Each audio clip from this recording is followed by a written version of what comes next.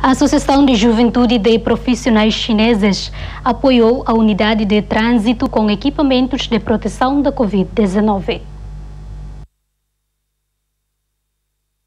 A Associação de Juventude de Profissionais Chineses entregou esta terça-feira equipamentos de proteção aos membros da unidade de trânsito.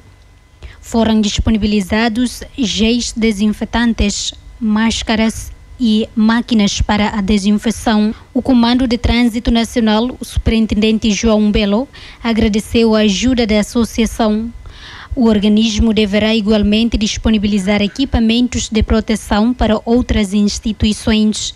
A Associação de Juventude de Profissionais Chineses entregou também os mesmos materiais aos voluntários de movimentos Tassimos, que se têm empenhado na desinfecção de vários locais em Dili. João da Costa na reportagem.